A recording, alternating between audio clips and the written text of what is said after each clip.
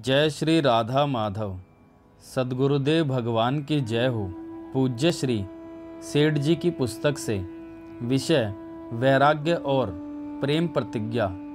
आपको वही काम करना चाहिए कि जिससे भगवान की प्राप्ति शीघ्र हो। पपीहे की तरह मन में धारणा करके दृढ़ प्रतिज्ञा होनी चाहिए। प्राण भले ही चले जाएँ, परंतु भगवत प्राप्ति के साधन भजन ध्यान एक पल के लिए भी नहीं छूटने चाहिए। भजन, ध्यान और सत्संग में त्रुटि क्यों की जाती है? फिर पछताने से कुछ भी ना होगा। आपके पास ऐसी कौन सी शक्ति है कि जिससे आप मृत्यु से बच सकते हैं? ऐतव पपीहे के भांति प्राणों की परवाह ना करके प्रण को निभाना चाहिए। पपीहा प्रण कब न तजे तजे तो तन बेकाज। तन छूटे तो कछु नहीं, प्रण छूटे तो लाज।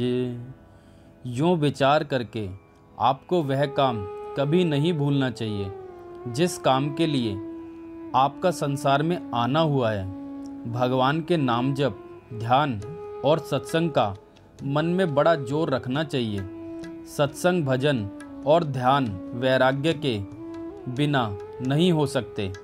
संसार के भोगों से वैराग्य हुए बिना, ईश्वर में पूर्ण प्रेम नहीं हो सकता। संसार के सुख तथा रुपए किस काम आवेंगे? सब कुछ यहीं रह जाएगा। यदि भगवान के नाम का जप ना हुआ तो संसार के सुख किस काम के?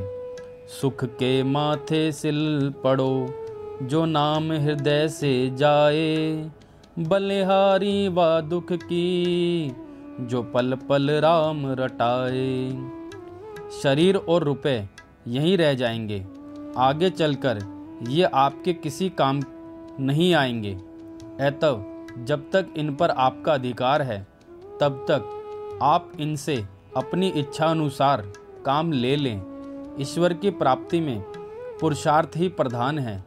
यूँ समझकर धन को धूली के समान जान, उस असली आनंद में बड़े ज़ोर से लगना चाहिए कि जिससे शीघ्र ही भगवान मिले।